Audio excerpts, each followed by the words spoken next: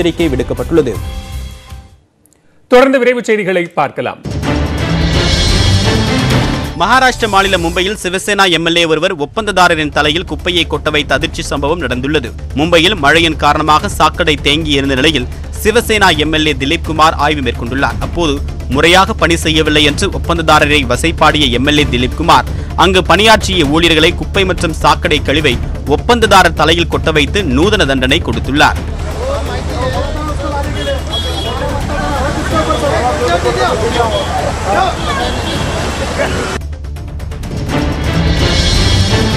ரஷ்யாவின் Sputnik V தடுப்பூசி அடுத்த வாரம் முதல் டெல்லியில் கிடைக்கும் என்று தகவல்கள் வெளியாகியுள்ளன முதற்கட்டமாக இந்த தடுப்பூசி கடந்த மாதம் பதினேழாம் தேதி சோதனை அடிப்படையில் ஐதராபாத் அப்பல்லோ மருத்துவமனை மற்றும் ரெட்டி ஆய்வகங்களில் விநியோகிக்கப்பட்டது இந்நிலையில் ஜூன் பதினைந்தாம் தேதி முதல் டெல்லி இந்திரபிரஸ்தா அப்பல்லோ மருத்துவமனையில் ஸ்புட்னிக் வி தடுப்பூசி வழங்கப்படும் என்று கூறப்படுகிறது மத்திய அரசின் உத்தரவுப்படி தனியார் மருத்துவமனைகளில் இந்த தடுப்பூசியின் விலை ஆயிரத்து நூற்று நாற்பத்தி ஐந்து ரூபாயாக நிர்ணயிக்கப்பட்டுள்ளது நீட் தேர்வு குறித்து ஆய்வு செய்யும் குழுவின் முதல் கூட்டம் மருத்துவக் கல்வி இயக்குநரகத்தில் திங்களன்று நடக்கிறது நீட் தேர்வு சமூகத்தில் பின்தங்கிய மாணவர்களுக்கு பாதிப்பை ஏற்படுத்தி உள்ளதா என ஆராய ஓய்வு பெற்ற நீதிபதி ஏ கே ராஜன் தலைமையில் குழு அமைக்கப்பட்டது இந்த குழுவில் சமூக சமத்துவத்துக்கான டாக்டர்கள் சங்கத்தின் ரவீந்திரநாத் கல்வியாளர் ஜவஹர் நேசன் சுகாதாரத்துறை செயலர் சட்டத்துறை செயலர் பள்ளிக்கல்வித்துறை செயலர் மருத்துவ கல்வி இயக்குனர் மருத்துவ கல்வி கூடுதல் இயக்குனர் ஆகியோர் உள்ளனர் இக்குழு ஆராய்ந்து நீட் தேர்வுக்கு மாறாக அனைவரும் பயன்பெறும் சேர்க்கை முறை வழிமுறைகள் குறித்து விரிவான அறிக்கையை ஒரு மாதத்திற்குள் சமர்ப்பிக்கும் நீதிமன்ற உத்தரவை மீறி கட்டணம் வசூலிக்கும் தனியார் பள்ளிகள் மீது கடும் நடவடிக்கை எடுக்கப்படும் என்று பள்ளிக்கல்வித்துறை அமைச்சர் அன்பில் மகேஷ் பொய்யாமொழி எச்சரிக்கை விடுத்துள்ளார் கரூர் மாவட்ட நூலகம் மற்றும் அரசு பள்ளிகள் சிலவற்றை அமைச்சர் அன்பில் மகேஷ் பொய்யாமொழி ஆய்வு செய்தார் பின்னர் செய்தியாளர்களை சந்தித்த அவர் பள்ளிகளில் சேர்க்கை தொடர்பான நிர்வாகப் பணிகளுக்கு அனுமதி வழங்கப்பட்டுள்ள நிலையில் உயர்நீதிமன்ற உத்தரவை அனைவரும் மதிக்க வேண்டும் என்று கேட்டுக்கொண்டார் இந்த கொரோனா காலத்தில் நீங்கள் வந்து எழுபத்தைந்து சதவீதம் தான் வாங்க வேண்டும் அது முப்பது சதவீதம் ஒரு தவணையாகவும் நாற்பத்தஞ்சு சதவீதம் இரண்டு தவணையாகவும் நீங்கள் சொல்லியிருக்காங்க ஸோ அந்த வகையில் அந்த கோர்ட் ஆக்ஷன் படி தான் அவங்க வந்து அந்த ஃபீஸை கலெக்ட் பண்ணாங்க அதே போல கண்டிப்பாக இன்றைக்கி வந்து ஏற்கனவே இந்த ஃபீஸ் சம்மந்தமாக பார்த்தீங்கன்னா நிறைய பிரைவேட் ஸ்கூல் அதை ஃபாலோ பண்ணல அப்படிங்கிற அளவுக்கு கூட சில புகார்கள்லாம் வந்துட்டு இருக்குது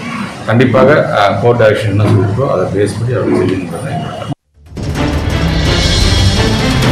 வடக்கு வங்கக்கடல் ஒடிசா மற்றும் மேற்கு வங்க கடற்கரையை ஒட்டி உருவாகியுள்ள காற்றழுத்த தாழ்வு பகுதி அதே இடத்தில் நீடிப்பதாக சென்னை வானிலை ஆய்வு மையம் தெரிவித்துள்ளது இது அடுத்த நாற்பத்தி எட்டு மணி நேரத்தில் ஆழ்ந்த காற்றழுத்த தாழ்வு பகுதியாக வலுப்பெறும் இதனால் தமிழகத்தில் நீலகிரி கோவை குமரி மாவட்டங்களில் இடி மின்னலுடன் கூடிய கனமழைக்கு வாய்ப்புள்ளதாகவும் ஈரோடு கிருஷ்ணகிரி உள்ளிட்ட ஒன்பது மாவட்டங்களில் மிதமான மழை பெய்யக்கூடும் என்றும் கணிக்கப்பட்டுள்ளது சென்னை திருவள்ளூரில் இடியுடன் கூடிய லேசான மழைக்கு வாய்ப்புள்ளது அதிகபட்சமாக கோவை மாவட்டம் சின்னக்கல்லூரில் ஐந்து சென்டிமீட்டர் மழை பதிவாகியுள்ளது பதிமூன்றாம் தேதி முதல் பதினைந்தாம் தேதி வரை மன்னார் வளைகுடா தெற்கு மற்றும் மத்திய வங்கக்கடலில் பலத்த காற்று வீசும் என்றும் கேரளா கர்நாடகா லட்சத்தீவு கோவா கடலோர பகுதிகளில் ஐம்பத்தி ஐந்து கிலோமீட்டர் வேகத்தில் காற்று வீசும் என்பதாலும் மீனவர்கள் அங்கு செல்ல வேண்டாம் என்றும் எச்சரிக்கை விடுக்கப்பட்டுள்ளது விவசாயிகளுக்கு வழங்க வேண்டிய பால் நிலுவைத் தொகை விரைவில் வழங்கப்படும் என பால்வள அமைச்சர் நாசர் உறுதியளித்துள்ளார் ஈரோட்டில் காலை ஐந்து மணி முதலே பல்வேறு இடங்களில் உள்ள ஆவின் பாலகங்களில் அமைச்சர் ஆய்வு மேற்கொண்டார் பின்பு செய்தியாளர்களை சந்தித்த அவர் கடந்த முப்பது நாட்களில் மட்டும் ஆவின் நிறுவனத்தில் நான்கு லட்சம் லிட்டர் பால் கொள்முதல் மற்றும் விற்பனை அதிகப்படுத்தப்பட்டுள்ளது என்றார் ஆவின் பால் பூத்துகளில் ஆவின் தயாரிப்பு பொருட்களை தவிர்த்து வேறு நிறுவன பொருட்களை விற்பனை செய்தால் உரிய நடவடிக்கை எடுக்கப்படும் எனவும் எச்சரித்தார் வேகப்படுத்துவோம் விற்பனை வேகப்படுத்துவோம் அதை நீங்கள் சொல்கிற மாதிரி இந்த குறுக்குண்டை நிலவு தொகையெல்லாம் எங்கள் நாலேஜ் வந்து உடனே ஏறக்குறைய நானூற்றி அறுபது பேர் ப்ளஸ் வந்து மேனேஜிங் இதில் வந்து நூற்றி எழு நூற்றி எழுபத்தாறு பேர் இதில் தவறுகள் நடந்தது உண்மை கண்டறியப்பட்டிருக்கு அவர் மீது அது அதனால் வந்து என்ன பண்ணுறாங்க ஒட்டுமொத்தமாக ரத்து பண்ணிட்டோம் புதுசாக கால்ஃபர் பண்ண போகிறோம் அது முறையாக அது எந்த விதமான தப்பு தலை இல்லாமல் டிரான்ஸ்பரண்ட்டாக நடத்துகிறோம்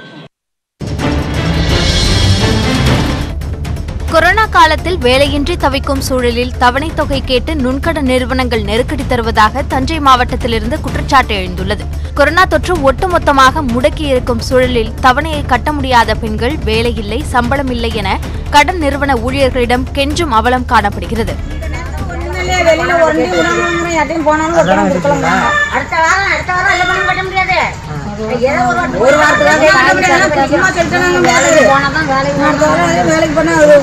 வேலைக்கு போனோம் கட்டணுங்க இப்போ இந்த மூணு மாசமா கொரோனா வேலைக்கும் போக முடியல வேலைக்கு போனாலும் கூலி கிடைக்க மாட்டுதுங்க அது கூலிக்கு போனாலும் காசு கொடுக்க மாட்டுறாங்க இப்போ இந்த மூணு மாசமா கொரோனால கட்ட முடியலங்க ஆனால் கட்ட சொல்லி வந்து ஆறு மணி அள்ளி இருக்கிறாங்க ஏற்கனவே அரசு கொடுத்த கொரோனா நிவாரண நிதியை தவணைத் தொகைக்காக பெற்றுக்கொண்டவர்கள் இரண்டாம் கட்ட உதவித் தொகையையும் கேட்டு வருவதாக நுண்கடன் நிறுவனத்தார் மீது மக்கள் குற்றம் சாட்டுகின்றனர் தங்களுக்கு நிரந்தர வருமானம் வரும் வரை தவணை செலுத்துவதற்கு வட்டி இல்லாத கால அவகாசம் வழங்க வேண்டும் என மக்கள் கோரிக்கை வைத்துள்ளனர் அதான் வீடுகள் வந்து உட்காந்துக்கிட்டு சாயந்தரம் வரைக்கும் போக மாட்டேங்கிறாங்க கொடுத்தா தான் போவேன்னு சொல்கிறாங்க அது இல்லாமல் வந்து வட்டி மேலே வட்டி போட்டு உங்களுக்கு கடன் கூடுதல் தான் வரும் நாங்கள் வசூல் பண்ணாமல் போக மாட்டோம் அப்படின்னு சொல்லும்போது மன உளைச்சல் ஏற்படுது எங்களுக்கு நாங்கள் அந்த அரசாங்கம் கொடுக்குற அந்த ரெண்டாயிரரூபா தான் நாங்கள் ஒரு நாளாக பொழப்பு ஓட்டிகிட்ருக்கோம் மறுபடியும் அரசாங்கம் ஏதாவது கொடுப்பாங்களான்னு அரசாங்கத்தை எதிர்பார்த்துட்டு நிற்கிற இந்த நேரத்தில் நாங்கள் கடனை கட்டுற அளவுக்கு எங்களுக்கு சூழ்நிலை இல்லை அரசாங்கம் இந்த கடன்களை கொஞ்சம் நாளைக்கு நிறுத்தி வைக்கணுங்கிறத எங்கள் கோரிக்கையாக கேட்டுக்கொள்கிறேன் பெட்ரோல் டீசல் விலை உயர்வால் கொடைக்கானல் மலைப்பகுதிகளில் சரக்கு வாகனங்களின் வாடகை கட்டணத்தை லாரி உரிமையாளர்கள் சங்கம் உயர்த்தியுள்ளது தமிழ்நாட்டிலேயே அதிகபட்சமாக அங்கு ஒரு லிட்டர் பெட்ரோல் நூறு ரூபாய் நான்கு காசுகளுக்கும் ஒரு லிட்டர் டீசல் தொன்னூற்று மூன்று ரூபாய் தொன்னூற்றி இரண்டு காசுகளுக்கும் விற்பனையாகிறது இதன் காரணமாக அண்டை மாவட்டங்களுக்கு காய்கறி போன்ற பொருட்களை ஏற்றிச் செல்லக்கூடிய வாகனங்களின் வாடகை உயர்த்தப்பட்டுள்ளது கடந்த வாரம் ஐம்பது ரூபாய்க்கு ஏற்றப்பட்ட காய்கறி மூட்டைக்கு தற்போது நூறு ரூபாய் வரையில் கட்டணம் வசூலிக்கப்படுகிறது இதேபோன்று வெளியூர்களிலிருந்து வரக்கூடிய வாகனங்களின் கட்டணமும் உயர்த்தப்பட்டுள்ளது இதனால் தங்களுடைய வாழ்வாதாரம் பெரிதும் பாதிக்கப்படுவதாக வியாபாரிகள் வேதனை தெரிவிக்கின்றனர் நாங்கள் நாற்பது ரூபா கொடுக்க வேண்டிய இடத்துல எண்பது ரூபா கொடுத்து வரப்போ நாங்கள் எங்கள் கஸ்டமர்கிட்ட போயிட்டு எவ்வளோ நாங்கள் ரேட்டை போட்டு நாங்கள் விற்கணும்னு தெரில நான் உங்ககிட்ட கொடுக்குறப்போ அவங்க கஸ்டமரோட வாயில் நாங்கள் விழுகிற மாதிரி ஆயிடுது மதுரையோட நீங்கள் ரேட்டு ஜாஸ்தி ஆகுறீங்க திருச்சியோட ஜாஸ்தி ஆகுறீங்கன்னு சொல்லிட்டு எங்களை எல்லாம் இது பண்ணுறாங்க ஸோ இதுக்கு நாங்கள் எங்களோட வாழ்வாதாரமே முழுமையாகவே பாய்ச்சி போயிடுச்சு இந்த விலையேற்ற காரணமாக இங்கிலாந்தில் நடைபெற்று வரும் ஜி செவன் நாடுகளின் உச்சி மாநாட்டையொட்டி பிரிட்டிஷ் ராயல் விமானப்படையின் சாகச நிகழ்ச்சி நடைபெற்றது ரெட் ஆரோஸ் எனப்படும் விமானப்படை பிரிவு நிகழ்த்திய சாகச காட்சிகளை காண ஜி செவன் நாடுகளின் தலைவர்கள் மற்றும் விருந்தினர்கள் கார்பிஸ்பே கடற்கரையில் கூடியிருந்தனர் அப்போது வானில் அணிவகுத்த விமானங்கள் ஜி செவன் கூட்டமைப்பின் சின்னத்தில் இடம்பெற்றுள்ள சிவப்பு வெள்ளை மற்றும் நீல வண்ணத்தில் புகையை கக்கியபடி சாதனைகளை நிகழ்த்தின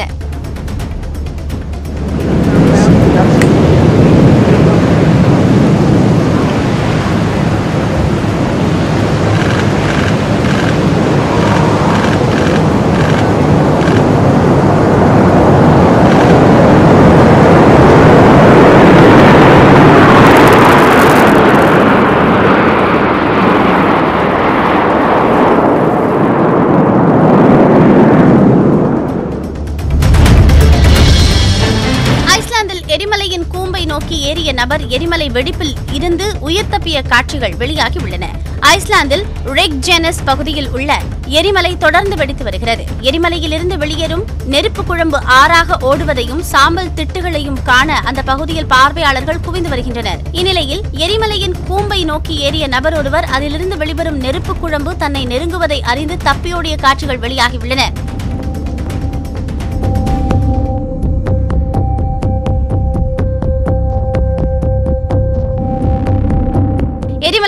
வெடித்து வருவதால் அந்த பகுதிக்கு பார்வையாளர்கள் வருவது தடை செய்யப்பட்டுள்ளது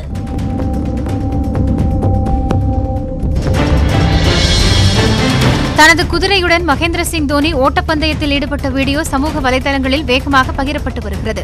ராஞ்சியில் உள்ள பண்ணை வீட்டில் ஓய்வில் உள்ள சிஎஸ்கே கேப்டன் தோனி குதிரை ஒன்றை வளர்த்து வருகிறார் அந்த குதிரையுடன் ஓட்டப்பந்தயம் ஒன்றை தோனி நடத்தியுள்ளார் இதனை அவரது மனைவி சாக்ஷி படம் பிடித்து இன்ஸ்டாகிராமில் பதிவிட்டார் குதிரையுடன் ஓட்டப்பந்தயம் நடத்திய சிங்கம் என தோனியின் ரசிகர்கள் இந்த வீடியோவை பகிர்ந்து வருகின்றனர்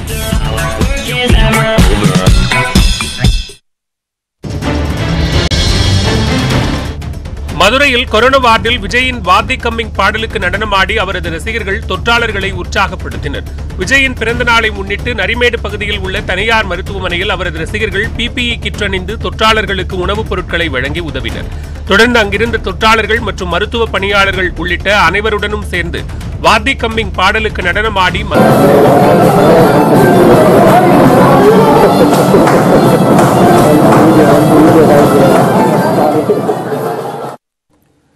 ഇംഗ്ലണ്ടിൽ ജി